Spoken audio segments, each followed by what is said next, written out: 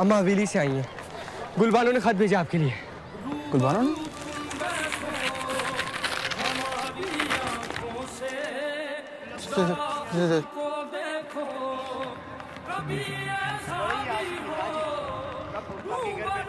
सुना है अब्दुल्लापुर में तितलियाँ भी नकाब पहनकर निकलती हैं।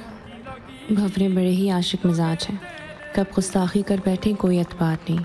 जैसे उस रात किसी आवारा मिजाज ने नाम पूछने पर बर्जस्तगी से कह टाला था। अब्दुल्लापुर का देवदास। लगता है इस नगर में आज तक किसी का अंजाम देवदास सा नहीं हुआ।